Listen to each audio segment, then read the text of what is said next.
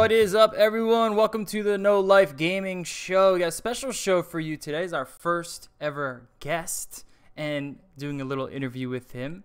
And uh, hopefully, we can do a lot more of these. It's gonna be pretty fun. We got a pretty pretty short show for you. We got a couple games we've been playing, and then there's a few news topics, and we're gonna get out of here. And uh, tomorrow for the tech show as well. There's not too much news. We're just kind of in a e- post E3 lull.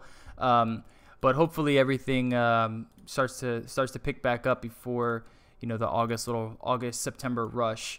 Um, so without further ado, let's bring on the co-hosts. What's up, dudes? How's everyone doing? Hi. Yo. Uh, yeah, sorry for missing last week, but it happens.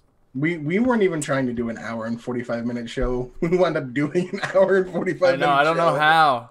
I was Dude, late for my really thing too. involved. It happens every single time. Yeah. It was E3, man. We had to do all No, I. I know. So well, now I have to get all of my E3 stuff out after.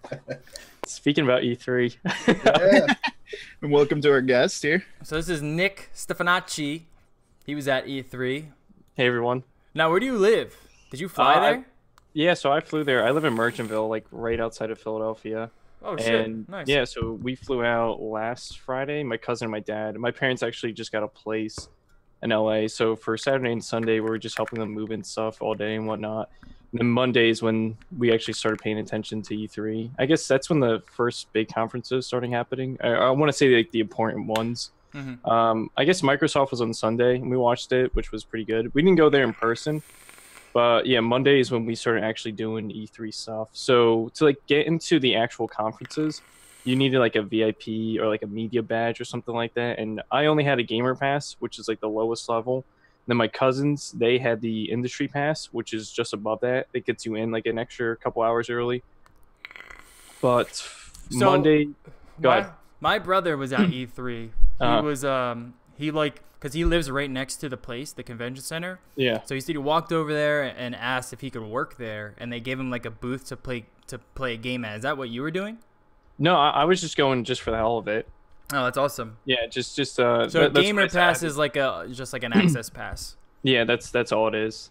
Just grants you access to the show floor. And then like I said above that is the industry pass, which my cousins have because they have some connections in the industry. So they got Nice. to go in a couple hours early before me on some days, which was nice for them. But Monday, the first thing we did um that was connected to E3 is that we went to LA Live, which is just like a movie theater right across the street from the convention center hmm and we signed up probably like two or three weeks before to get tickets to actually go watch the PlayStation experience in a movie theater. Oh shit! That's yes, that's so pretty I mean, we did that, but this is when I started noticing that. All right, the, the E3 seems great, like on camera and like watching it from home, but when you go there, all it's right, still a convention. it's so a convention. It's so it's so I want to say like gets like a clusterfuck at times because we show up I to the bet. movie theater, we get there. It says on our pass, get there a half hour before. We show up an hour before, and the line's just out the door because there's people there that didn't sign up for passes, and two of my friends or my cousins cousins didn't have passes. So we're like, all right, just jump in this line. We're gonna jump in the line with the passes, and we'll see what happens.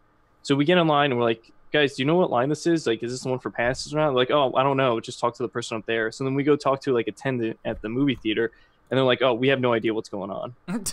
So we're like, we're like, all right, this is our first time here. We're kind of confused too, like what's going on. So we just jumped in line with a bunch of people that I guess assumed they were in the right spot. So we Yeah. just jumped in line there, and then they were taking in like ten people at a time, and then you had to do check-ins within the movie theater. So we're like, we just keep checking the clock, and it's like ten minutes before the actual show starts. And we're like, there's no way. There's at least 100, 150 people outside. There's no way they're getting everyone in. Holy shit! So You got yeah. lucky they started with a 10 minute banjo. Yeah, right. yeah, that's, that's the thing. Like, like our two friends, they come in and like, what do we miss? I'm like, you just missed the banjo guy. You did not miss anything. the fucking so- banjo but- but- dude. they, they actually came in after that part. They missed the whole Last of Us part. And they came in, and it was like during the commercial break part, which was just kind of Okay, Weird yeah. 20 Yeah. minute break that was yeah, super that would, awful for pacing. it, it was yeah. it was Well, I not mean- necessary. It just kind of took you out of it. Wait, I mean, it was because I guess they were like actually moving people. Yeah, Because Yeah. like the people there, they were actually like mo- changing theaters and stuff, and it was like, okay, again, it was one of those things. If you're at the convention, that sounds really cool. But yeah, watching it was like, Yeah, and they did it for like Okay. 20 minutes. That, All that right. second It was just 20 minutes of, of us making fun of it. But yeah, it just took so long. So I, I assumed that they were going to do it at least two more times after that, because I thought they were going to have a theater for each game, each like Right. big game they That's what they had on. like. That's when what they kind of said, and then yeah, they- that's what. Yeah, Yeah. right. yeah, because like they were like at the start, they were like kind of like, oh yeah, no, like it's a it's a whole experience. We'll be moving them through every time, and then like I think after how long the first one had, they were like, Yeah. okay, nope, nope, you're you're here now. Congrats. oh my god, that sounds that sounds like a nightmare actually. So I mean, I'm kind of happy I watched it from the theater and I wasn't actually there. I mean, it would have been a great experience to watch it from there, but I mean, there was enough going on at the theater that I was like, all right, cool, whatever. Yeah. So that, that was our first day. We went home after that. We got um oh In and Out Burger, which I love. yeah.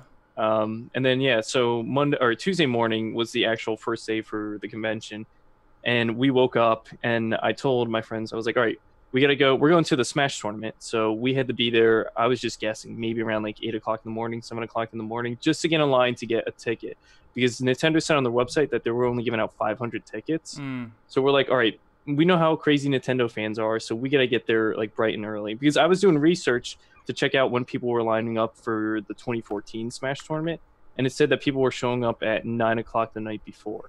Oh my god. That Yeah. sounds about right, actually. Yeah, I'm like, old pre-release launch wait party. yeah, right. So all right, so we roll up, and, and it's LA, and the traffic's terrible. So to go eight miles, it took us like 45 minutes or something like that. So we, we, we got to plan like an hour ahead to do just about everything. So we roll up and we park, and I start counting people in line. I'm like, all right, there's 100, 200, 300, and then we roll in line. We're like 320 in line. So like, all right, we're gonna get a spot definitely.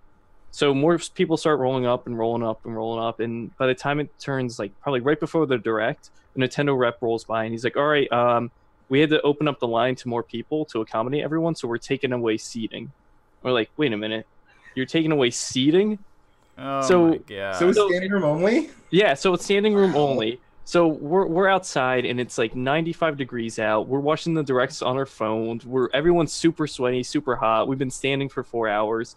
And then we're like, okay, we get inside and it's at like this clubbish kind of theater, kind of concert venue. It's because at one point I was like, all right, I've been standing for 8 hours and we just sit on the ground and like a bouncer comes up to me. He's like, you can't sit there. I'm like, Uh. you got to be kidding me. I'm like, I've been standing this entire time. He's like, yeah, Holy you can't sit shit. I'm like, all right, whatever. So I mean, I'm just trying to get away all the bad stuff out so Yeah. far, but um, like being in line and watching the direct with everyone was just like insane because everyone was screaming and there's just a, a bunch of random people walking by us and they're like, what the hell's going on? Like when we're watching the direct, we're like, oh, snakes and Smash or Pokemon trainers and Smash. Everyone's just freaking out. What happened when they announced that everyone was going to be in Smash? Did everyone freak out and start a Everyone riot? was like, I, I, was- I was about to like tear up. Like I did not know. I was about to like faint. I had no idea what was going on. It felt like a joke. The real question Kinda is. yeah. When they announced Ridley, I imagine the place was popping. everyone was like, Ridley! Everyone just kept screaming and screaming. It was insane. The meme is real now. It is. I mean, the new meme's Waluigi now. Yeah, I've seen that a lot on Twitter. Who, Waluigi? yeah, Yeah. How is he not in Smash? I have no idea. Have you seen the one where they uh it's like him getting excited because they're announcing they're gonna add someone that everyone's been wanting wanting or something like that and it's Waluigi it's not Waluigi it's fucking Wobbuffet because they're all just going wah I just remember like the mass like exodus of assist trophies. Waluigi. Oh. yeah, that's how it was. It's just like Waluigi. Um, but yeah, to continue with the uh, tournament. So the tournament was ran pretty well.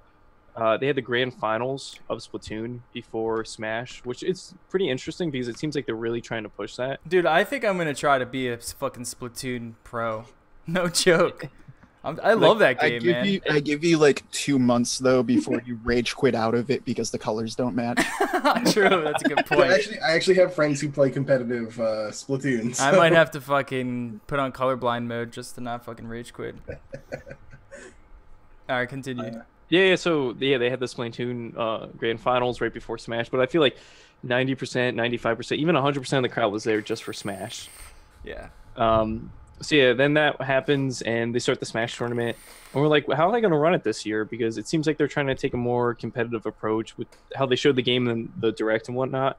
But the tournament was ran like weird. I want to say because they had the first two rounds were like doubles. Wait, had, real like, quick. on. Real quick, just to give some background, you're you are a part of the fighting game community, correct? Yeah, so I mean, my background is I started playing fighting game tournaments back in Jersey before I left us for school in Colorado in 2014. I've been running tournaments like at my house for like maybe like seven, eight years, just Smash tournaments, little things.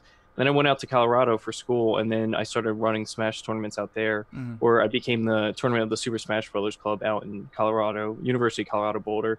And we ran tournaments just weekly and whatnot. And we started running. Um, we actually did like uh, I want to say like majors out there. We started running the Flatiron series, which uh, the first one wasn't too big. We had around like 200 people, and I helped run the second one too, and we had around 250.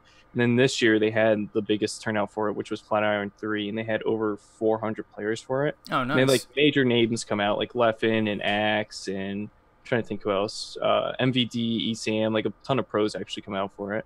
That's Nice. awesome. Yeah. So mainly then mainly just Smash.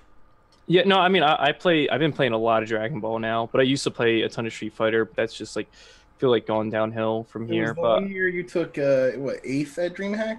oh yeah, no, I took ninth place at DreamHack uh, um, last year. Um, Yep. DreamHack uh, Denver. I got ninth place in Marvel vs. Capcom. Uh, what's I can't even think of the name. Is it is it Ultimate? the- no, I'm was thinking. it Ultimate Three?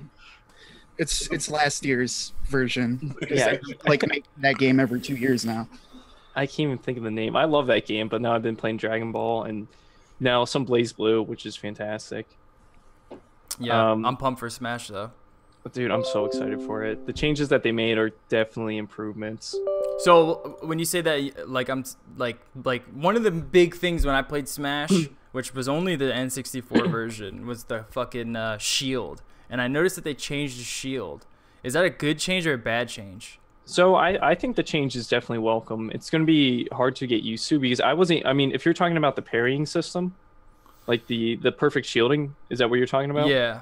Yeah. So I mean, And 64, it was you hold Z and it's a you, you get a magic bubble. yeah. Yeah. So in this one, it's like you hold shield, but you have to drop right after the attack or right before the attack to do a Okay. parry. yeah. So if you think about it like Street Fighter Third Strike, you can parry any single attack, and that's what I think they're kind of going with. Like if you parry this attack, you can beat that attack, but it has to be of equal or less frames. So if you parry a smash attack, you can attack back with the smash attack, which is nice. It makes it more aggressive and more, I guess, I want to say competitive. right. Which is the people complained about, like the main complaint, especially about Brawl, but also with uh, Four was it favored a lot of defensive play. Yeah, This game seems to definitely be favoring the more aggressive play, which is hopefully going to speed it up as well. Mhm. Yeah, the, the speed of the game feels a bit faster than Smash 4. Uh, one of the things that I noticed at the Invitational, and then when I started playing, I was like, yeah, I don't really like too much, is that when you hit someone with like a smash attack, a trail of smoke goes flying, even more than previous games, and the character teleports like right to the spot where they get hit. So think of it like in like Smash 4, the arc's like, oh, you hit the person and it goes like that. In this game, it goes like that. It's like instant. Hmm. It's going to be hard for follow ups and Yeah, exactly. extension. Yeah, that's probably a conscious deci- decision then for them to do that. Yeah, it seems like it. You're Um, definitely going to get the most out of your buck when you start a combo. yeah, like keep everything at like short or low percentage and just do tilts and aerial attacks and whatnot. Like smash attacks is just gonna fly them out the window. Are you Unless gonna it's going to kill. Yeah, you- unless it's gonna kill. Are you gonna play on the GameCube controller? Yeah, I, I- I gotta play on the GameCube controller. I mean, I've been playing that since the game came out. Yeah, I I love it too much, and everyone was freaking out when they announced that too. I bet. But the, I feel like I the mean, there's Pro controller is such a better controller. It, it, it might be a better controller, but for Smash, I mean, it's like your, your hands just feel so natural. It's, Yeah. it's playing with home. it. Yeah, it is home. That's the best way to s- put See, it. I don't have that uh, that connection to that controller, so hopefully I can. That's well, think I mean, of, I played think of it like playing a first-person shooter, not on a computer. Yeah. Yeah. Like it's like that. For for me, Yeah. like man, like 64 was always well, always probably even my favorite Smash game. Oh, it's my favorite, but also I'm never going to use an N60 controller, 64 Yeah. controller again. Imagine playing a first-person oh, shooter problem. like remember GoldenEye and shit on that. I controller? remember GoldenEye. I still own it, and it's it is fun for nostalgia's sake, and that's it. The pro- dude, the problem with today is like, it's like all the N64 controllers you can get now are they're all jank. Everything's jank all because they're so old, And you're just at the point now when you play with your friends, be like, "No, nah, I don't want the jank controller. Give me the Mhm. good one." All right. So what else? What else happened? So yeah, I mean the tournament ran pretty well. Uh, everyone was expecting like another character reveal at the end, but Sakurai went on stage. He gave uh, Zero the trophy, and then he was like, "Oh, I gotta go home to finish working on the game. My flight's in a couple hours. See everyone." So I Hmm. mean, he's really dedicated with this, and he he wants to get it as done as soon as possible. It seems like. That So right man after, is crazy. yeah, dude, he's insane. Like God bless him. Like he works his ass off for this game. Do you think there's any possibility of a delay? Um, I I mean I I watched every single video. I've been watching, like when when you would talk about Smash, like I I know I feel like I, I I'm not like a know it all, but I just feel like I've watched every single thing on it, and so far I I found posts on Reddit or just people speculating about it, but they said that this is just a date just to throw out there. That's what I think it is. Yeah, just to meet the 2018 deadline, which they Yeah. said back in I March. mean, to be I can fair, see that though, too, but it's well, aren't, aren't they? Try- well, okay, you can correct me if I'm wrong, but I'm assuming they're also trying to do online with this, right? well, the online's coming in. They've said is coming September. Right. They've been saying that for like a year and a half now. Yeah, so I mean, they, they delayed the online several times already. Right, Everyone, well- the speculation was that it was going to come out. The online was going to come out with Smash. Well, it's it's That's not even it's not even that linked, but it's like I'm I'm wonder that's the thing that I can actually see holding up that game is if they say they do want to have an online feature for it, and if they don't have their online stuff figured out by then, that's what I see possibly delaying the game more than how much work's been put into the game itself. Yeah. I'll play devil's advocate. When they said December second last year for Xenoblade, we all sat here going, "There's Yeah. that's getting Yep. delayed," and then it came out December second. So I mean, the only games we've seen delayed so far have been games that have not had an exact date. Like Fire Emblem was supposed to be 20, and now it's spring. Well, no, that that that's what I guess I'm trying to say is I, I like I think I think they're the the team making the game is going to have the game done by then. But if it does get delayed, I expect it because of online, not Yeah. because the game's not finished. yeah, I can see that. I can definitely see that. Plus, this is fucking Sakurai. And d- or is he gonna release a half-finished version and say we can do an update when the online comes out? Uh, I don't think so. I don't think he not would. Sakurai's mo. He's gonna And- wait and- until it's absolutely ready to go, which The thing sucks. you know?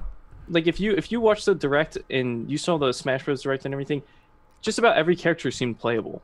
Yeah. Like everyone was playable. So I mean, it just makes you think how much of this game is actually done. yeah. That's a good point. Yeah, and he even said he saw some bugs. Um, that he, he he noticed bugs while And watching I- the gameplay. I, I I ran into some bugs actually playing. So I mean, if I can go back into this E3 stuff. So right after the tournament, we ran over to the convention center, which was probably a couple blocks from it, and we grabbed our badges. We walked inside, and I was just overwhelmed by everything. Like it's just insane, everything going on. We only had an hour the first day because we were at the Smash tournament, but we're just walking around, and like the videos don't do it justice. Like every developer, every publisher, they put in like 110 percent they just put in so much money to the production value that it makes it feel like an amusement park, which is awesome. hmm Like I was talking to my cousins, I was like, "Oh, like do you see all the Nintendo and Smash stuff here? This is actually going to be like in a theme park at Universal. So this is going to be insane." But we're just walking around, checking everything out, seeing where everything is before we get ready for the next day. And Wednesdays when we actually got to play the games and everything. And Wednesdays, the first day I got to play Smash. So um, you can sign up for like a competitive side or for glory side or for fun and for glory and the for fun side um, you just got to play like four people at a time um, items on stage hazards on and all that stuff. And then the competitive side you get to play in a tournament setting which was nice. But the weird thing was how it was structured. It was like all right the first um, match is free for all with four people and smash ball on. And you had to win one of your matches out of two to uh, to progress to the next match which was kind of weird because like I was talking to my cousin, I was like, all right, you know what? We're just gonna treat this as a two v two. Like if you need a kill if you're ahead, or if I need a kill if I'm ahead, just kill each other. We're not letting these guys like get ahead of us. Playing doubles, man. That's Yeah, awesome. That's what we did. We're like, and then we're talking to the guys ahead of us just to kind of figure out how good they were at Smash. We're like, oh yeah, this pro's over there, this pro's over there. They're like, I don't know who that is, and I was just like, whew. All right, we got we got a chance. We're gonna be able to like move on. So yeah, the first match we we start playing, and I'm like, oh, it feels different from Smash Four, but in the back of my mind, I'm just like, all right, I'm gonna play it like Smash Four because it kind of looks like Smash Four, and that's what I played most recently. Um, so we move on to the next match, and then the next round, which is again four player like free for all. Uh, the first round is like a practice round, and then the winner of that gets to move on to a 1v1 three stock six minute match. So I progress to the final round, and I start facing off against this Mario. And this is where it feels like an actual like tournament setting because it's like the actual stock. There's a timer. There's no smash ball, no items, nothing like that. So uh, we start playing, and I start noticing like some jank like while we're playing. And these were some of the glitches that like Sakurai mentioned. So the first one was like I, I'm shielding as Fox on Battlefield, and the guy was playing Mario, and he tried to run past my shield, but he couldn't do that. He Hmm. runs up to me, and it just stops him in his dead tracks. And he even Yeah, yells. He's like. "Yeah." He's like, "What the hell's going on?" I'm like, "Yeah, why couldn't you run past me?" And it's Fox. You can't side B through people either. And then that's what happened to me. Literally five seconds later, he threw me off stage. I side B. I hit his shield and I fall to the platform. I'm like, Hmm. what is going on? I'm like, that is not supposed to happen. And then, uh, yeah, he shortly after kicked my butt and I got second and he got first. And first place, you get a medal. And actually, let me grab the hat. that E3 swag. You get this cool Smash hat. Oh, nice, dude. Yeah. Like that's pretty cool. Are you gonna fucking put it on eBay?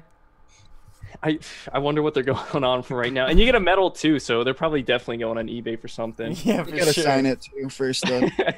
yeah. Nick, second place.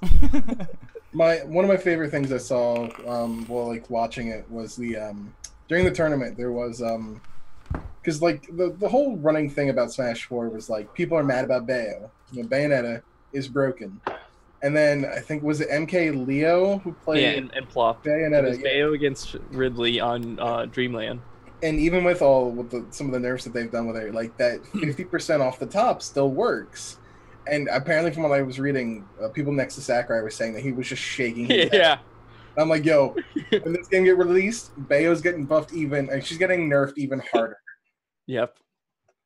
Apparently, she had like a quad jump at some point. Like I was watching like a breakdown video by Zero, and he's like, "Oh, she does like side B jumps, side B jumps, up B, side B's jumps again," and I'm like, "That is so dumb." It's still not as bad as Brawl Meta Knight gliding. No, like, no, it's, still not bad. as bad. It's still bad. So the the do they have like are is anyone be getting that game early at all? Are they gonna give like a special key to like pros or something? So I mean, Does that normally happen? for for this game, I, I highly doubt it. Like the pros, the time the pros had to play it was they got to play it four hours before the tournament, and that was the first time they ever got to see it or play it. It was even so secret that they had uh, when they first boot up the game and had all the characters except Ridley on it because the direct didn't air yet. So when the direct aired, they saw Ridley and they're like, "What?" And then they updated the game to put Ridley on the current build, which Oh, is that's pretty dope. That's Yeah. so cool, actually. I like that. yeah. They're like, "Oh, and uh, Ridley's playable now," and they're just like, "What?" Like That that. is I- I, crazy. thought was really cool. But as far as preview copies go, I know that some I don't know if they get like full copies, but I know like you know for reviewers, um, like I, I wouldn't be surprised if like GameXplain or Yeah. if like D1, who's a big Smash uh, commentator, I wouldn't be surprised if they get like maybe like two or three day early access copies, of course with an NDA and everything, where they really can't talk about anything. and probably Mewtwo King too because he works for Nintendo now. He's a brand ambassador. Oh, no, I didn't know he got a job with them. Yeah, he like about a month ago he got hired by them. Yeah. Yeah, I think that would, that would be cool. I think it. What I honestly, what I'd like to see is if they do actually want to embrace like kind of that competitive side, they I think they should get pros involved because that's something I like that like CS did when they made CS:GO. They like they basically gave it to all of the top pros playing Source in 1.6, and were like, Before it was Hey. released. "Fi- yeah, like fix this. Like, what do you actually want to see in this? Yeah. I know other And, like, have had issues with that before, um, where like Yeah. And I mean, like, there's like you're giving the pros like an extra week of getting good. But I mean, like at the same point, I can understand like sure they may get an extra week, but I don't really think a we- even a week one week of labbing isn't going to change when patch patches will happen. Yeah. And like honestly, if you're that high up the ladder anyway, is it really gonna affect you that much? Mm, yeah. Yeah, Yeah, like, but it's it's that's like really the only game I know that really did that mm-hmm. kind of beta. And I do I want to see more esports do that kind of beta where they actually just hand it to pros and are like, yeah, no, spend four months of this while we're working in beta to just like kind of try to give us ideas or at Mm. least some feedback or something. I guess because- the only thing with that would be being worried about like leaks and stuff.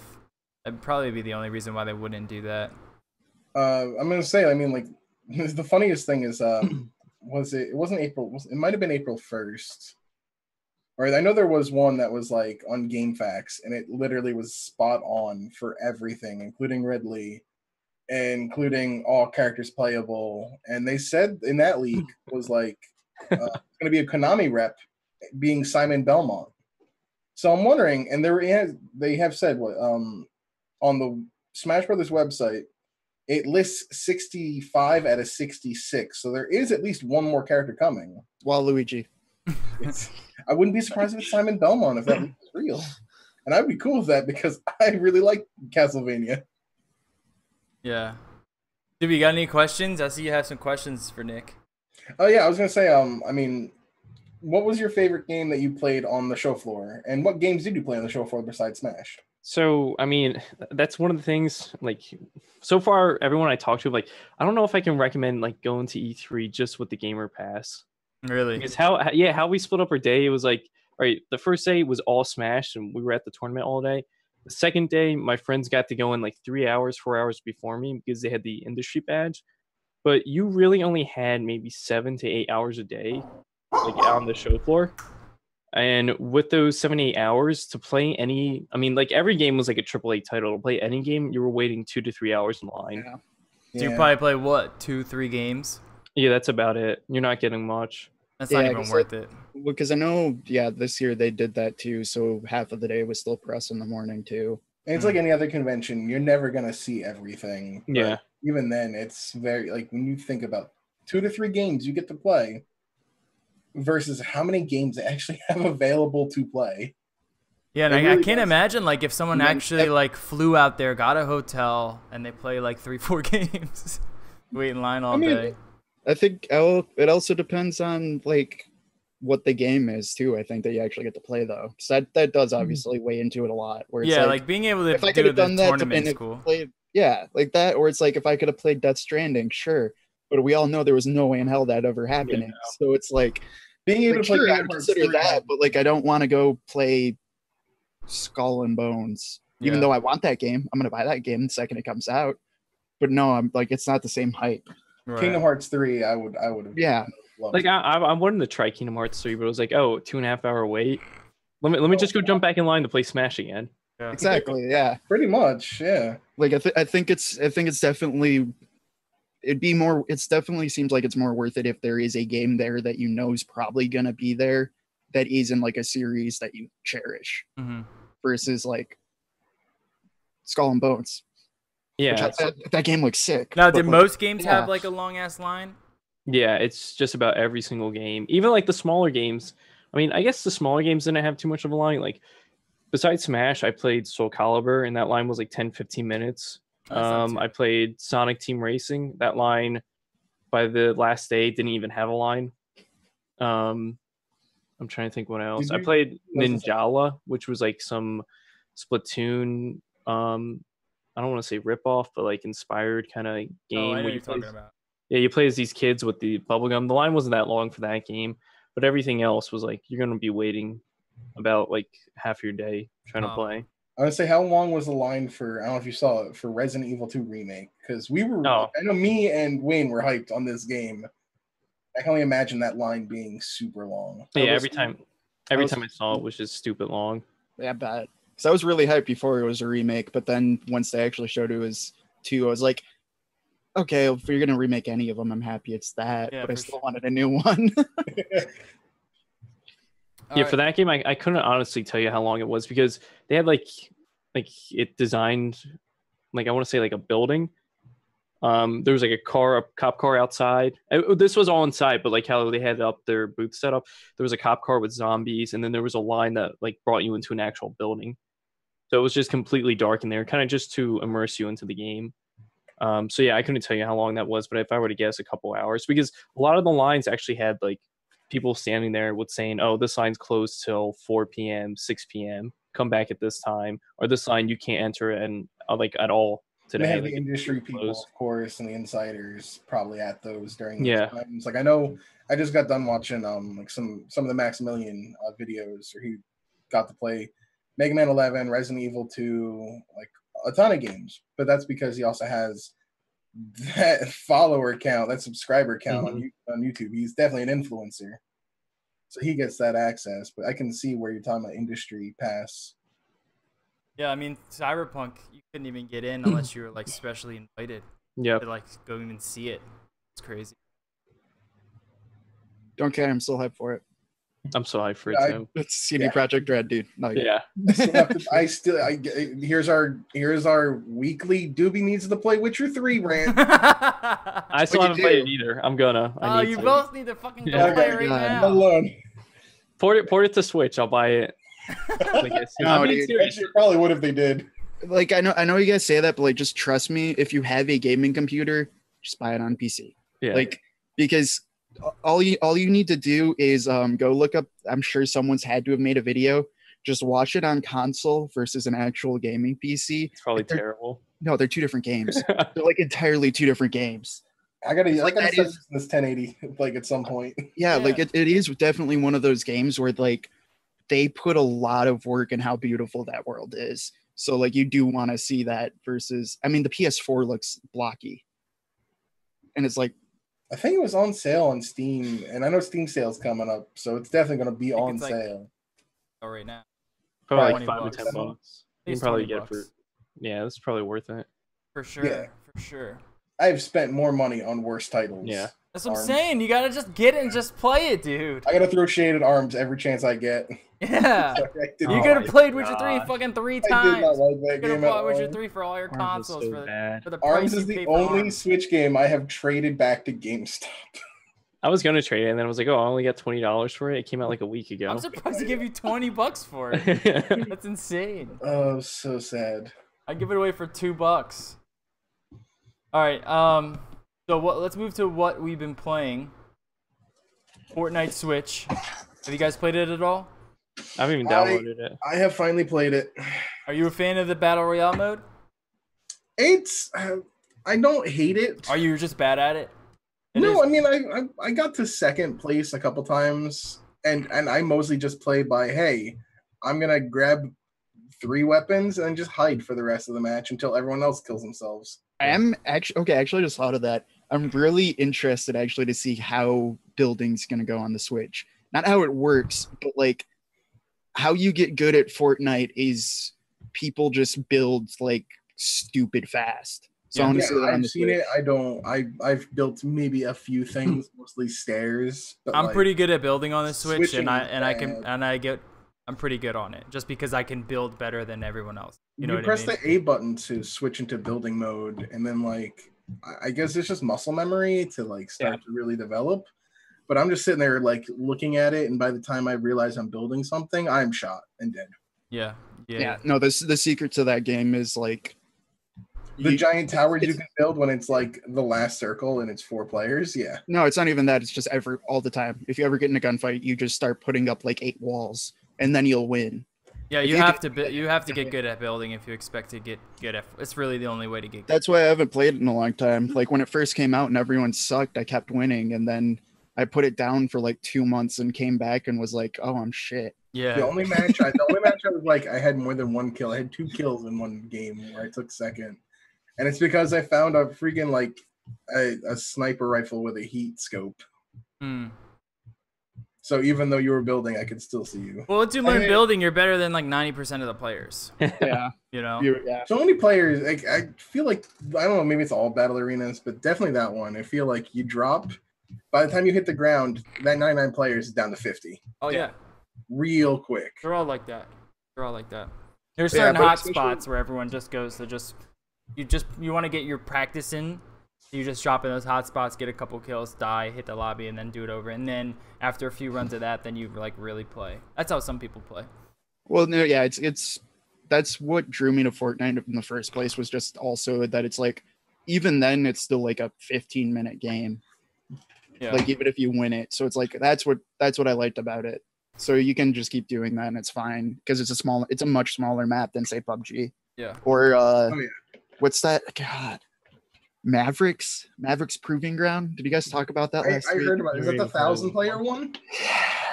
I haven't, No I haven't played it, but I heard about it. No, Is it really a thousand Why? players? it's really a thousand players. Supposedly. Yeah, why? How shitty are those servers? I don't know. Like, dude, no, like I, I ended up like having okay, I this is this it might be because I'm a dev, but I'm heavily judging them also that they're ever going to be able to have a thousand people on their servers when a, after they announced it at the PC convention, which or PC show, which is already the worst smallest show.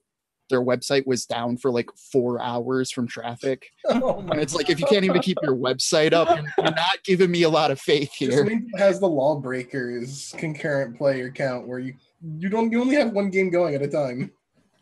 Well, it's also crazy. It's like how how can you keep that up just in terms of like filling those rooms all the time? You know what No, I mean? it's that. It's just like, okay, cool. So what? Does it take like three and a half hours to win? Yeah, I bet. You know, PUBG already takes 45 minutes and it's only 100 people. So Dude, like some- how how many Like, Take- imagine the a thousand? it takes three and a half hours to win, but it only takes like two minutes to die in that game because there's a thousand people around you. you're queuing up for another game. a thousand players. Yeah. Like they No. they uh they did have some cool looking systems in it, but at the same time, like I definitely have a lot of qualms about it because I- I'm it's more the concept is stupid to me. I'm gonna give be honest. using the, the term grounds. Yeah. Battle Royale with the grounds, you just you just come off as a ripoff. Well, it's also it's proving grounds, and it's you never name anything after Sarah, Sarah Palin. Basically, just don't. do that. But um, seriously, like it, I just can't get behind it conceptually. But when I finally did get their website to load, kind of sucks because like they have some they have some cool ideas. The, I'm also worried though because they have so many cool ideas, and the dude who was presenting it looked like he was 21. That I was like, seeing happening. It's like there's no way in hell this is Just ever done gonna actually happen. year Dean Development School. Yeah, it's like it, that's awesome. You got money and have a studio, and like this, if you could actually make this work, it sounds really cool. I don't see it happening because like they wanted to add systems where like, okay, if you get shot, you leave a blood trail. Since there's so many people, if you move through a forest, it will break trees, so you can be able to track people and stuff like that. Like Hmm. they had a lot of kind of cool. It seems so overambitious. Exactly. Exactly. Like there were a lot of like things where it's like this like if you could pull this off, this would be really cool. and but every, not. It doesn't look like everything Fortnite. inside me is like, You know what I'm saying? Like, okay there, bud. and it doesn't look like Fortnite. Like it, the graphics are like Far Cry 5 level. Like it, they're, it's a gorgeous looking game too. So this is a really ambitious project. Did they have gameplay for it? I don't No. see any. I just see the their E3 trailer. Yeah, I imagine it's just re- pre-rendered. No, but they Yeah. I think you, the reason why also their site was crashed is you can sign up for beta in a couple of months. Yeah. I think. Well, you you can sign up for it now. I think. Well, no, you can sign up for it now, but I mean, it'll, I think the beta is scheduled for like September or October or something like that. Yeah, I'm sure everyone will try to get up on that. It looks pretty cool. Hopefully, it turns out. Like to- it looks cool, but yeah, it, like it just I'm I'm worried because Just like a PUBG. Why? That's a pretty ambitious fucking game with some some decent graphics, and they can't still can't get the fucking optimization right, and they have millions and millions of dollars behind them. We'll five frames was what was it? Fifteen frames on on On Xbox. Xbox, It yeah. was like one. It was like watching a picture book. Oh, that's so bad. That's terrible. Oh. on the Xbox One X Yeah. with 13 teraflops or whatever about. All right. So there was also BlazBlue Cross Tag Battle. Yeah, yeah, I picked this up. Um, actually, I wasn't originally gonna pick it up, but um, my my buddy Mike, who uh, me and Nick both know, uh, he was like, "Yo, check out the demo." So I wound up getting the demo on the Switch, and then I was like, "Oh, this is kind of cool." Then I wound up grabbing the demo on the PS4 so I could play with my fight stick, and um, yeah, that sold me on it. So I went and I went and bought it, and um, it's pretty fun. I'm not gonna take it seriously as I want to take like Dragon Ball, but um, I'm, it's uh, a two v two anime fighter with a bunch of different crossovers, uh, and Persona. And I'm a huge Persona fan, so and I never gotten to Persona Four Arena, so this is my first time actually playing with Persona characters in a fighting game, and they're some of my favorite. So I mean, if you're if you like just quick and the damage scaling is really high and the games are quick, which I really like. They're super fast. Dragon Ball can sometimes drag on a Yeah. little bit too long, especially when you're playing high play, like high level gameplay, and you're just both blocking really well. Uh, BlazBlue is a great, just quick pick 'em up play. It's a three. It's not even. It's three buttons. It's really a three button fighter, which is um, pretty simplistic. So it's easy access for new new like new players Yeah. but it's got a really cool high ceiling for like competitive play. That looks pretty good. Watching The only gameplay thing I have footage a now. problem with it is the DLC. Just the way that they split up the DLC, where it's half of the characters are on, like you get like pretty much half of the roster, and the other half of the roster they're releasing over time. And it's a fifty dollar title, so it's really a seventy dollar title when you pay the twenty dollars for all the DLC. Especially when you play the story mode, and those DLC characters are already in the story mode that you can fight against, but you can't play as them until they release them Mhm. which screams on disc DLC to me. That's the kind of the shadiest thing I've seen Arc Systems do in, in a I'm long surprised time. they did it. Yeah, I'm not. I'm no. Nobody's happy with that situation, but they are offering the RWBY characters for free to everyone. So there are free characters coming at least. But um, I I really enjoy it, and um, I know me and Nick are probably gonna wind up playing it together. Yeah, I'm I'm so down to play. Already I, I gotta get it. I already put over mm. five hours into the demo on Switch. It's like I keep playing the same characters and the same thing over and over again. It's so addicting and it's just so simplistic. But then like when you break it down, there's like so many options to do what like every character has like a DP, so they can get out anything with like a reversal. Then you have like your assist can come in three different ways. You can tag in, switch out like at any point. You can tag your assist in during like when you're getting comboed. Um, you can tag in your assists like when you're doing a super. Like they have so many options in that game, which is so nice. Yeah, I was just watching some gameplay where it was like they just kept bringing everyone in.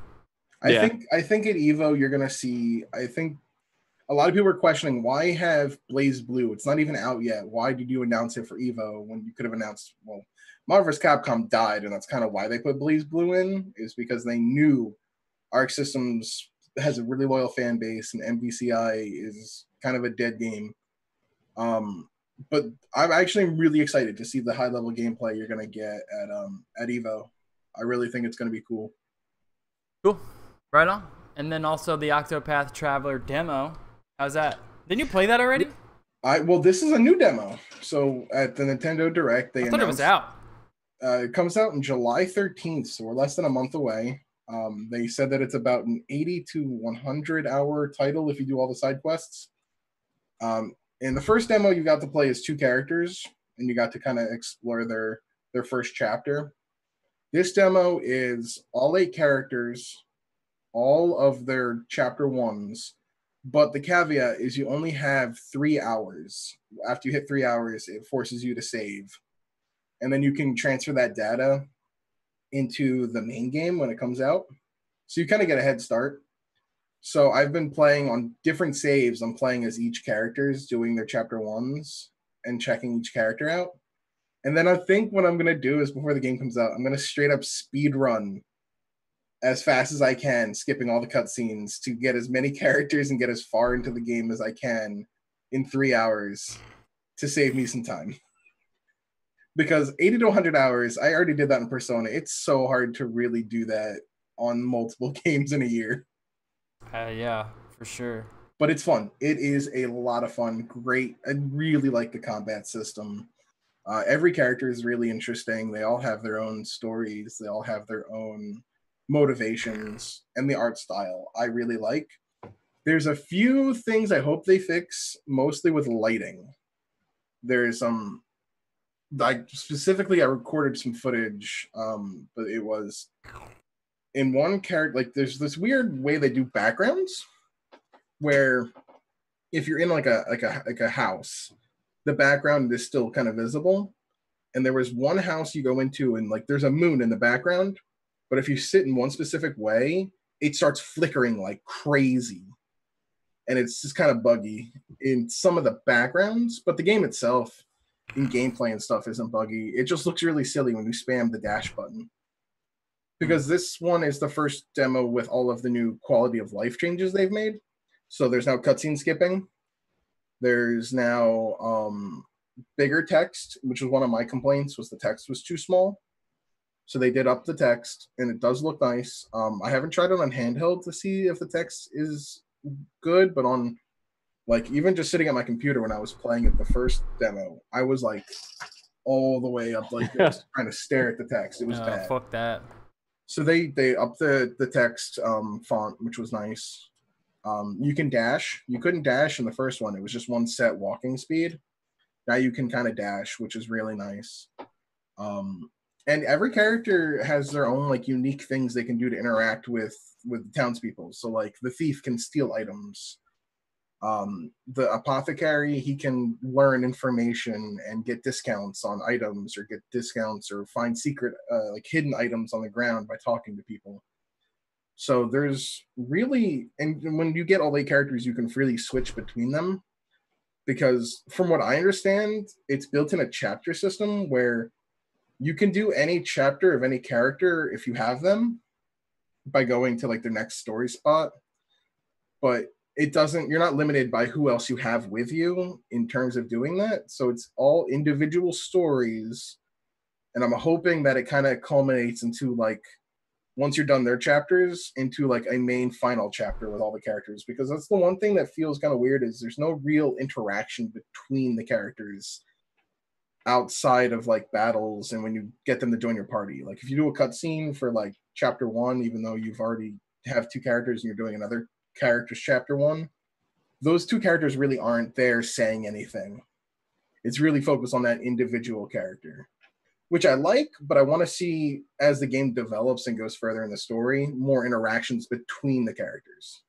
So I thought this was like a, just a regular kind of run of the mill JRPG, but after watching it and hearing about it, it's like this fully fledged, you know, R- it's like a big title, and I This didn't realize that. Yeah, And I didn't. I didn't realize that at first. This is the team behind Bravely Default, which a lot of people say is probably Square Enix's best titles for Nintendo. uh, Who never who they had a great relationship. Square and like Square at the time, Square Soft and Nintendo before the PS1, like that era was amazing for RPGs. The Super Nintendo is such a great Square machine.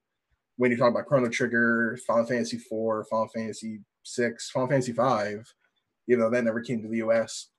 Um, and then the PS1 happened, of course. Square left Nintendo. They went, "Hey, you're doing the N64. We don't. We want to do discs with with Sony." Bam, Final Fantasy 7, 8, 9. And then after that, there wasn't really a great relationship between Nintendo and Square until more recently. And you can tell that when they put Cloud into Smash. Hmm. That was a huge sign of Square and Nintendo coming really to an agreement with each other. And Square has even said they're making a the studio like a separate part of Square to develop specifically Switch exclusives. And if this is the quality we're going to get with Octopath, I'm excited to see what this company comes out with. Square Square pissed me off with Final Fantasy 15, but Octopath is very redeeming. Yeah, I need another RPG, man. I've played the shit out of Zelda. I don't know. I think I'm done with it. I, I just shouldn't was say great, that. Just saying. I love Xenoblade. It was really good. Should I try it? Cyberpunk. Cyber just wait for Cy- Cyberpunk on the Switch. It's more of an action RPG, but it's uh if, if you like anime. No, I do. I like. I want. I just want more RPGs, man. Yeah, Xenoblade was a very good RPG. I dropped I think 120 hours into that. Maybe I'll pick that one up. I, I took your recommendation for Mario Rabbids and I enjoyed it, so I think I'll check out Xenoblade then. And the DLC for that comes out in September, so Yeah. Eh. mm, Play XCOM 2. I hey, that's Yeah. a free PlayStation game. Did you fucking play it? I haven't got it. What I, are you I, doing, dude? I downloaded it. I have it. I have it forever. I can Play play it. whenever I want. I'm gonna play it. Awesome. I think if Uh, you like Mario Rabbids, you'll love XCOM. Yeah. No way you won't. I got one last thing for what I will be playing. Um, so I've been over here freaking out a little bit because uh, apparently CS:GO just updated a couple of hours ago to Panorama UI, which has been a meme for about two years of them saying it will come out. So apparently they uh, completely updated mean? their UI system, like the uh, menu systems. Basically, all of the menu systems are completely changed to actually look good. In most p- cases, are actually increasing FPS. So it looks better, and apparently it runs better. But it also is showing like it's showing more stats, like say on the board. It's just like a lot of little changes people have wanted for forever.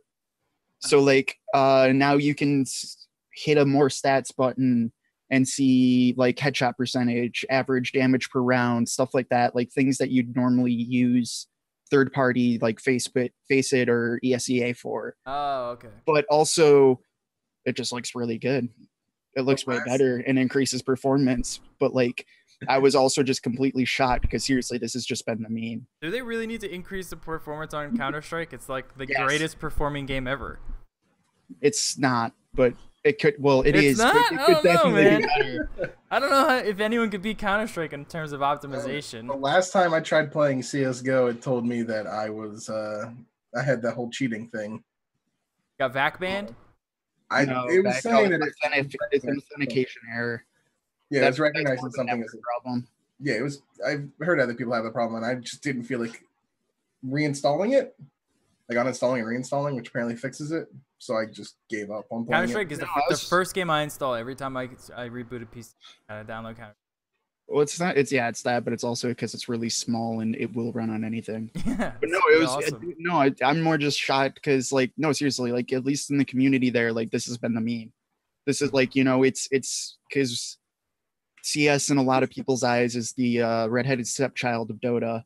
So this is the Ridley of CS. Yeah, exactly. This is this has been the like They're really- every time every time for like two years whenever there's a csgo update like the top post is like panorama I like, got it. just shit like that yeah so yeah if you play cs go check it out i guess because apparently they finally did it like three years late Um, all right, let's get into some news. World Health Organization classifies gaming disorder as a mental health condition. Watching as a video game ensnares their children, uh, many a parent has grumbled about digital heroin, likening the flashes of images to one of the world's most addictive substances. Now they may have backup. The World Health Organization announced gaming disorder as a new mental health condition included in the 11th edition of its International Classification of Diseases released Monday. I'm not creating a precedent, said Dr. Vladimir Poznyak, a member of WHO's Department of Mental Health and Substance Abuse, which proposed a new diagnosis to WHO's decision making body, the World Health Assembly. Instead, he said WHO has followed the trends, the developments which have taken place in populations and in the professional field. However, not all psychologi- uh, psychologists agree that, that gaming disorder is worthy of inclusion in the International Classification of Diseases known as the ICD. So, I didn't read this uh, this article yet. Do you guys know like what exactly is the issue 20 to touch on? They say that uh, playing 20 hours or more of uh, games a week classifies uh, you in the gaming disorder category, which I find not only ridiculous, but can I just sit here and laugh about digital heroin real quick? i mean It's a friggin' that is.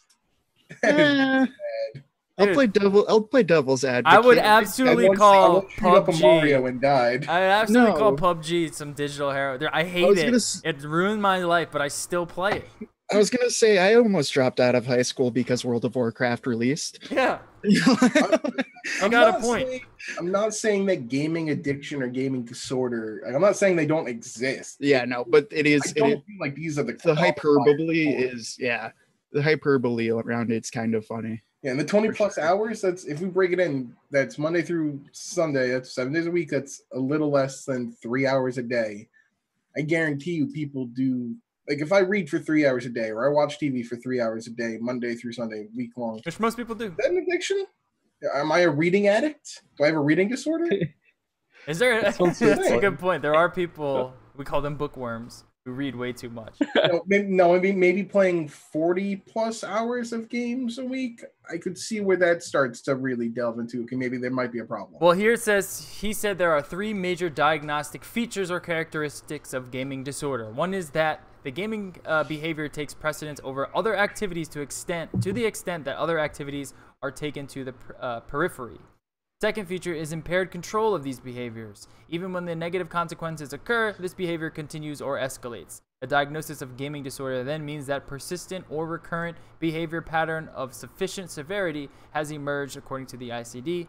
A third feature is that the condition leads to significant distress and impairment in personal, family, social, educational, or occupational functioning, uh, Poznyak said. Now, I don't know if you- you've all seen the video of the Twitch dude with the fucking PC uh, gaming Yeah. thing on his face, and he's in a room. I And, he's, and his room is a fucking disaster, and he's crying about how he's destroyed his life because of gaming. Is that the dude who tattooed his Twitch link on his eye? Uh-huh. No, it's a different dude. Like I saw Yeah. that one. That was uh Yeah. Wait, that's that's real. yeah. yeah, somebody actually like their twitch.tv slash Wait, did it, but was it? Is it actually real? I don't know if it's real. That Uh, looks like a real you know, tab, dude. It. I don't know. I mean, it was I can't fresh. believe it. I can't believe it. I'll believe it if I If see it it. if it's a Photoshop, it's a pretty good Photoshop. Yeah. But yet, I mean, okay, okay. Once you said that outline, yeah, I've read, I read this dude's work before, because I definitely used that in a research paper once. I'm saying when you when you like look at that, that screams any addiction to me. Well, yeah, When your Well, it- it personal is, matters it- start to be a problem. But that. But, but I that's think, that's kind of the point. Is I think Right. what they're what they're the trying point. to say with that is having it acknowledged that that can be a problem. Yeah. and I think that is important because you're right. That is the outline of any addiction. But it's Yeah. it, there is a point where you should. now it's in a now it's in the ICD. It's like Right, there's- there- I I agree with you. Also, I disagree that it's 20 hours, but I I do understand that it's it would be it's okay to have that classified because I mean, crap. Even when I was growing up, you know, people would just laugh and say depression's not real. You know what I mean? And just like stuff like that. So like and it is it is one of those things where like if that is a potential to be a problem, it should at least be able to be recognized. Well, just think about like Yeah. how gaming has evolved into the loot box situation, where they're they are Yeah. they make them so much more addicting that way, and they do well, it on that purpose. too, but it's also like how much we we play a lot of video games now. yeah, that's I true. mean, like- mobile, mobile gaming is Yeah. definitely picking up. just well, all it's- It's gaming. casual people who didn't play traditional video games are spending three hours playing Candy Crush a day. the average Mm. teenager by the time they are 20 are going to have played 10,000 hours of video games. I believe it. Yeah, that's So, like- surprising. No, I know. That's that's the actual statistic. I think from the same guy this dude originally published his work in or a very similar one. But it's like I I can see it, but also yeah, I disagree with his 20 hours where I think the 20 hours comes in is because there is this idea where there is a bell curve because in it that's right around three hour that three hour a day mark. Because up to that point there's also a lot of research that's been done that especially amongst children um, playing video games is actually quite beneficial. Yeah. it's it's allowing that little bit of a disconnect is actually very good. It's the same thing like being a having a creative outlet or you know like reading a book i guess would be different but it's something that gets your imagination flowing it's something that lets you disconnect a little bit enough where you can like get into that space of being able to think better. But after that is where that bell curve starts going down where they start noticing people have more issues towards like what they were saying where they're like me and it's like cool i'm gonna go to work for nine hours and then i'm gonna come play wow for nine hours Yeah, and then it fucks mean- your sleep up. It fucks your diet up. It fucks your. i don't need more life than six hours of sleep I mean, I have spent many of a night. I mean, I've done it with Splatoon playing till six in the morning Yeah, Me too, man. on the weekends. Not on the week, not on the you know, not on the weekdays. Dude, that's the problem with my Switch. It's so easy to lay in bed and play it, and just I just fucking it's either Splatoon or fucking Zelda, dude. I just can't stop. That's one of the best things about the poor battery life on it. It's Yeah, like, all right, true. I'll play, I'll play for a couple hours, and it's like, oh, it's about to die. Yeah, time for squeeze bed. few minutes in. That's true. All right, everyone's mad at PS4 crossplay restrictions. Um, so what happened was, uh, uh, Fortnite got released on Switch. Everyone was like, "All right, let's go." I downloaded it right when it was announced. Actually, I downloaded it the day after. installed it. I went to go put my Fortnite name in, which is connected to the PlayStation. You get hit with an error message that basically says, "Hey, uh, this is not our problem. this is a Sony problem. You're pretty much fucked. You're gonna have to make a new account." And I didn't realize it at first. Like I didn't just I didn't read it. No one I don't really read those things. But then after I read it, I was like, "Holy shit! I can't use my Sony account." And then I just made a new account for the Switch. So now I have three fucking Fortnite accounts. It's the, and the, the funny thing is like with the crossplay between Nintendo, PC, and Microsoft. If you want to play like Minecraft and you have a Minecraft account already from Microsoft, you literally sign into your Switch with your Xbox Live account. Yeah. That's so cool. It's Yeah. Nintendo and Microsoft together. Like I really like I we were saying last show, I really love their prosumer concept when it comes to crossplay and PS4. And this is Well, nothing. they, they have to now. Yeah, they have It's to been now. like this 'cause since- Sony's got all the market share. So they can be the Apple and just be like, nope. Yeah, Yeah. That I mean true. this has been a thing since like Rocket. Even like No, this, that's Rocket League. exactly what I was thinking the entire time. Is like, yeah, this has been a known problem for like four years. Like I, I Yeah, don't yeah. get why this is news or shocking. I guess, but all right. Is Well, Rocket League. I think- I think it, the reason why it became big Seems news like it. one because Fortnite, and two, I think the Epic's response to it is kind of what made Yeah. it news. They were just like, "Dude, this. If you want, they said in the in the disclaimer it says, if you want this change, you have to contact these people. Sony. This is not our issue," which I thought was interesting. Um, but Sony, they're not gonna, they're not gonna Sony's do not gonna do shit. crossplay, dude. They're never gonna do it. They don't have to. They don't care to. And uh, that's just the My way it's dude, their be. answer was the most bullshit answer where it's like, well, we have 80 million install base. So obviously we're doing something right. I mean, It was just a giant it was Are just they them. wong? Are they wrong though? Do you guys know they're wrong? Wait, do you guys know the reason behind why they allow like crossplay with PC, like such as Street Fighter? Oh, it's not a direct competitor. Okay, that makes sense. Like that. That's my. That would be my Yeah. guess. Because yeah, they do. So they do allow. sense. I mean, even with Fortnite, they actually allow it with PC, but they only allow it with PC. And I'm assu- I'm pretty sure it's just because it's not direct competitor. Yeah, I guess that's that would that would be the only thing. Because they like the only things they actively block it from is Xbox and Switch. Yeah. But they don't they don't assume that like if someone owns a PC, they probably own like a Switch or like an Xbox or even a PS4. I think they No, assume have it. PS4. I think they assume it. They just don't care. Yeah, they just Yeah. don't yeah. care. Well, I mean, it's like- also like again, it's th- they don't have to because like again, you. I mean, honestly, just just watch the last couple of years of Xbox versus Sony's E3s and like really genuinely ask that question of like, why would I buy a place or like why wouldn't I buy a PlayStation? Why is like Wayne the only person who bought an Xbox? yeah. I really I, I was saying this last show too. I Yeah, really last feel like this reminds me so much of the PlayStation 2 where oh we sold like a hundred million Yeah. and and we just we're, we're Sony come at us Yeah. and then PS3 came out and that was just it was kind of a flop Everyone had a 360. so I mean I, if Xbox can come with the, the first party titles like I want them to yeah, That's and I all mean, they need. want to buy Xbox And why did everyone buy an Xbox? Because of Halo. And Crackdown. Yeah. Wait, when, when's that coming out? but like and but now it's like oh I Xbox mean, when it and the 360 dropped, it had that. It was just the. It was like that high def here's online what- machine.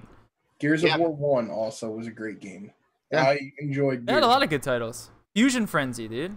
Fable series Or was that the first and the Xbox? Fables, yeah Dude, Fable 2, I played so much Fable 2 on my 360.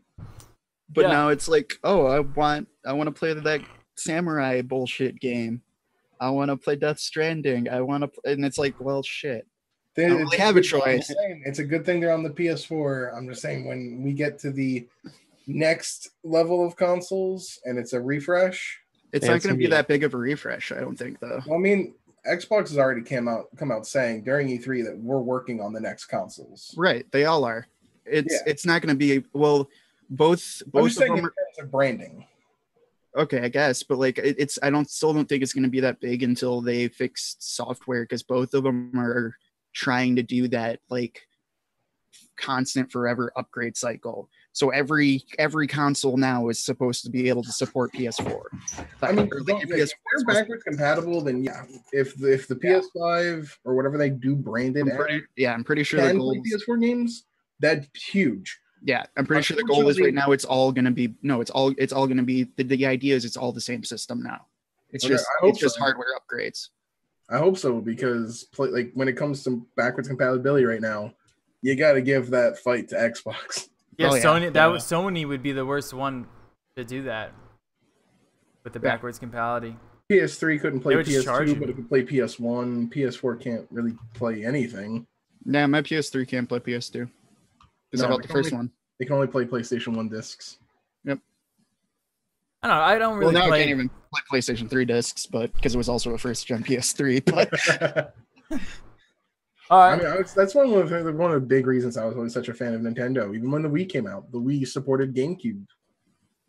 Like Yeah. you could play GameCube games on your Wii. I always thought that was cool, but I just never played those older games. yeah, it's it depends on what the game is and if you're into those games, basically. I would only play There- Witcher There's three. some yeah. I'm s- Well, when there's the also Switch came some where out- like I'll go back and play, and then there's definitely other games that are like, I feel like playing this. This sucks. Yeah, exactly. Exactly. Yeah, I'm just saying, like when it comes to like in like the PS Now, I hate PS Now. I think I don't think it's worth the money at all. I haven't even But I tried really, it. it's it's really Not the only way it. to play PS2 games on there. Yeah, that's not worth it. Just I'll tell your you what, PS2 I because your PS2 is better build quality than the PS3. I'll tell you what, dude. Next gen console comes out, Doobie's gonna get it. and He's still not gonna be able to play fucking Witcher three on it. So we're gonna be waiting for him to buy it on. Or Steam. X- I got a XCOM. gaming. He's PC, gonna. We're gonna wait for him to buy it on Steam sale for twenty five cents. pretty We're gonna buy all the games for him, and he's we're gonna come back every week. Have you played it? Yeah. Um, I gotta get. I gotta use this 1080 at some point. I bought it. All right. GameStop in talks with buyout firms and drawing interest sources. Uh, video game electronics. Uh, GameStop Corp is holding talks with private equity firms potential transaction after receiving buyout interest. I don't. Who the fuck wants to buy GameSpot or Games GameStop? Blockbuster. the lone, the lone blockbuster in, in Anchorage, Alaska. Or Yeah. Toys R Us. Or This, uh, Dude, they should do a super. examples, man. They should do a super buyout. Buy everyone out, and then say, have a fucking GameStop. Toys R Us, fucking EB Blockbuster. Games. Goodbye, Funko Land. Get them all in there.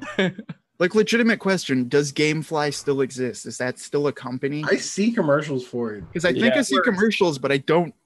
I don't know anyone who uses GameFly. Wait, wait. Maybe they can buy them out. You just get Redbox. Yeah, I've Do you guys actually use GameFly or No. Redbox? My parents use Redbox for movies. Yeah. Yeah, That's same. Uh. I'm, I'm saying for games. It's only like No. a dollar. No, I've never Yeah. used. I've never fucking used it. It seems like I mean, for us, I mean, like we seem like we're more into like the gaming world, but it just seems like some like I guess guy that just has no idea and wants to pick up like the new God of War or something goes over like rents it for a dollar and then just drops it all. The Yeah. new Call of Yeah, like I think I think that would be. I think for games it would be more useful if you could be like, okay, I'm gonna rent it for five dollars for a week. So I think part of that too is like it's it's a lot easier for a two hour movie, but like for I will say, you're not check, gonna play God of War in a day. I don't know if I don't know where maybe because where I live is is nice. I don't know. Check your local library. A lot of libraries these days not only carry games, they carry new games. Like my library has an entire thing that has like tw- I think maybe 15 or 16 Switch games, like individual Switch games. You can just rent out for a week. Dude, I used to always go to the library with my uncle and we get new movies. That's what Yeah. we just Yeah, had a they've I go to the library for got the new everything until I'm uh, banned from the local library around here. what? You got banned from your library? What no, did I just do? I just still have probably like 30 books. oh, true, true, true. See, I, I I I finally got caught. I technically moved to a different town, and uh, even though I work in the same in the same like town that my old library is in, I tried renting something, and they were finally like they finally caught up with it, and they were like, "Can we see your license?" I was like, yeah. you just so you're run not out the door. It's like I think you owe us like three hundred dollars. yeah. "Same library I rented like 50 CDs from." It was a dollar a day overcharge, and I never returned them. Dude, I haven't been to this Philadelphia library yet. I should probably go soon. I haven't seen a library. I haven't man. seen a library in years, dude. They do. They have video games. I haven't been in a library since I was like 18 years old. Why why spend seven no, dollars to rent a game for a week from Redbox when you can rent it for a week from a library? Yeah, I would have, dude. I would have told you to go to the library. I still go to the library like half, well, not all the time, but depending on which one it is, I'll still go decently because they have like decent Wi-Fi. So it's like cool if I don't feel like working at the office or from home, I'll just go or don't want to go to I'm the go- coffee dude, shop. It's like I'm go going to to the the library. Go to the library. Yeah, I'm going to the library tomorrow. It's a fucking plan.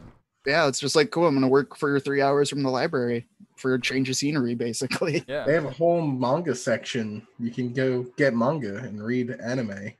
Yeah. All right, last story. Hmm. PUBG creators fight back against asset flipping controversy. I'm interested in knowing what Jerry's opinion is. So uh, there was a few threads on Reddit, uh, PUBG Reddit, saying Bluehole buys assets for PUBG, and uh, they show like that they're using assets from the Steam store. And uh, oh no, when they when the first game first came out, it wasn't the Steam store, it's the Epic store. They bought a shit ton when it first came out. Yeah. Now they responded by was- saying, uh, the first thing to understand is that if you're just starting up a team, you've got to lean on an asset store, asset store work because that's the only way you can spin up a game fast and for a reasonable price to quickly find the fun.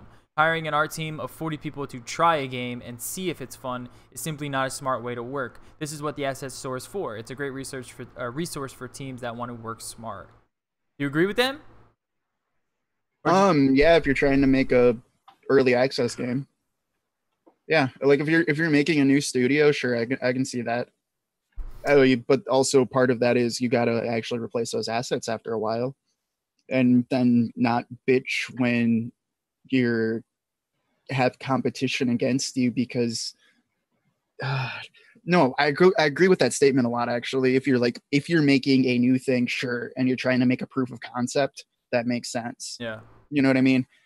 The only problem I give them a lot of crap for is all of the stuff that they just give Epic a lot of shit where it's like, well, yeah, you bought, you, I mean, you just you just bought all of Epic's property and now you're you're bitching that they're also making a game. Mm-hmm. Like, make your own then.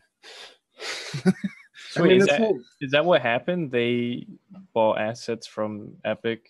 Ep- Yeah. Epic makes Fortnite, right? Yeah, Epic makes Fortnite. No, uh, the entire engine is Unreal Engine. They just bought it from Epic. Oh, really? Yeah, and then they started getting really pissed that Fortnite was coming out, and they were just like made a huge shit st- show out of it. And you're just like, I mean, that's one of the reasons Fortnite runs so much better is it's made by the actual makers of Unreal Engine. Yeah. PUBG like- can't get uh, they can't optimize Unreal for shit.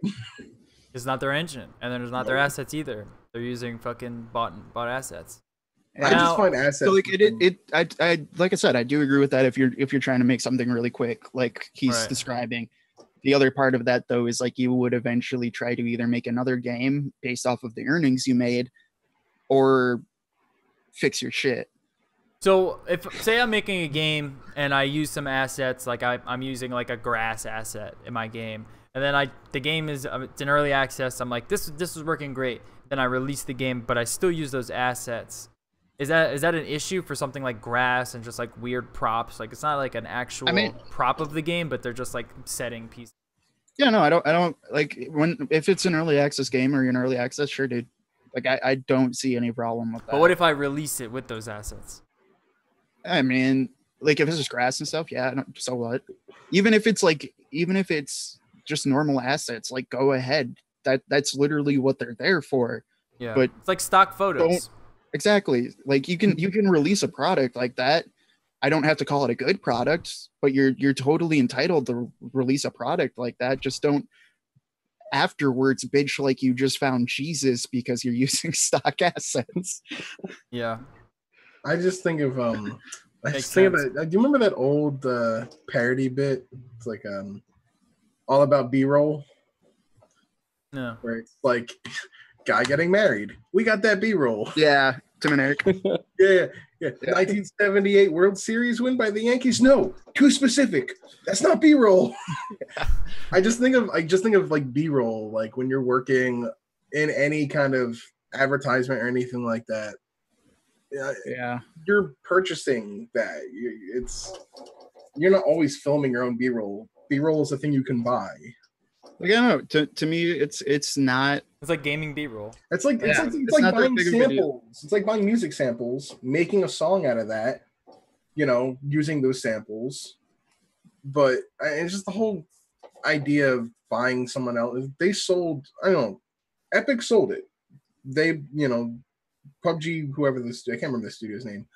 They bought it. Bluehole, whatever it is now. I mean, there's you obviously PUBG, know what you're getting into when you're selling and buying assets. Yeah. Well, like it's it's it's. I don't have a problem with it at all. No, I don't either. but it's just it, it it the things I have more of a like problem with is like how sometimes some of their people get very animated about it. Like someone pointing out that they did that and the guy's response is I see these comments and I'm like I want to kill you. Hmm. That's that's that's the creator of the game. And you're like, hmm. Where do they where do they put their money? Don't they have a shit ton? That's a good question. No one Yeah, knows. No one knows. That's a very good question. You would think they would put it all into optimizing a console version of the game so it can get Yeah. released and more people buy it and they can get more money. But it doesn't seem to be the answer. Dude, honestly, at this point, I think they should just put it into making a new second game. I, I they have to be doing that. I can't imagine that. I mean, they're releasing a new the Sanhok Mac map in a couple days, which is going to be pretty big because it's a smaller map. It's a jungle map, and then I know they're releasing a snow map, so that's pretty cool. There's gonna be four four very different maps for this game, and I have to imagine they're not gonna do any optimization anymore. They're not gonna upgrade it after that, and then they're just gonna make a new a new title. It's probably gonna be a mobile royale game. And Play on your real quick phone. on the idea of asset flipping, which when I first read this, I thought of something completely different. Was uh one last bit on Smash Brothers is when Smash Ultimate, the new Smash game, got announced, and people were like, "Oh, it's a port! It's a port! It's a port! They're using the assets. It's a port." Just because you use assets doesn't make it a port. Right. Yeah, no, that's Especially also in your own game.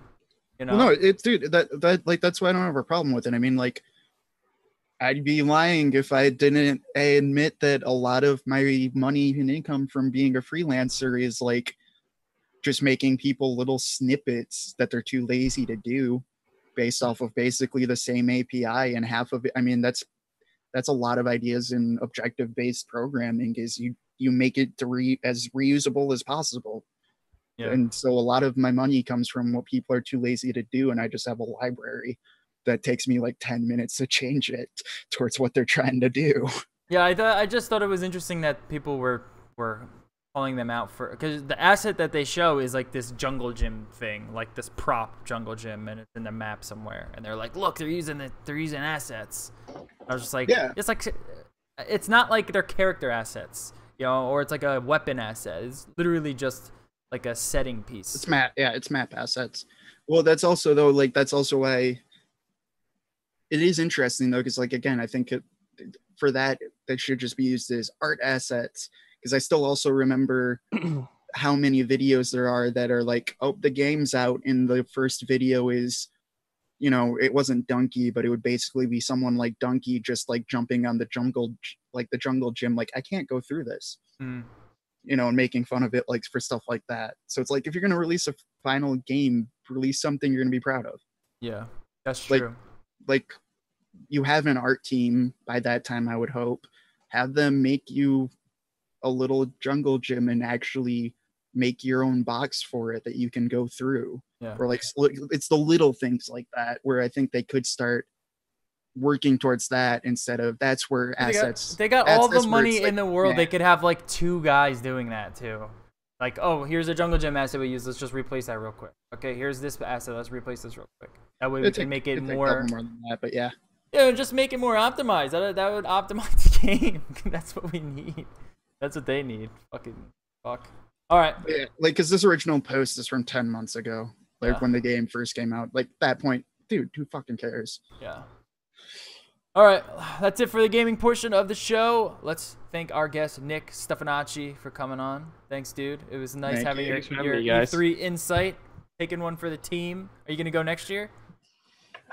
I, I don't know, honestly. I mean, Smash is probably my favorite game of all time. So, I mean, like you guys said, Yeah. like if there was one game there that you go for and just focus on, I mean, that's what I did. I ended up playing Smash probably like 20 times. So I played it probably like several hours. Yeah. So I I think it was worth it for that. And th- my cousin went last year, and he was like, "Yeah, I don't know if I would go again if Smash wasn't there."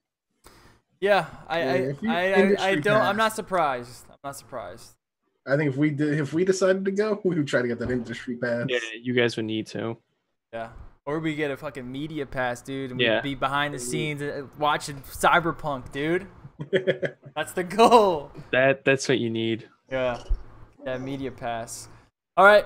We're going to catch you guys next week. Don't forget to hit the show tomorrow for the tech portion. We'll see you guys later. Bye bye.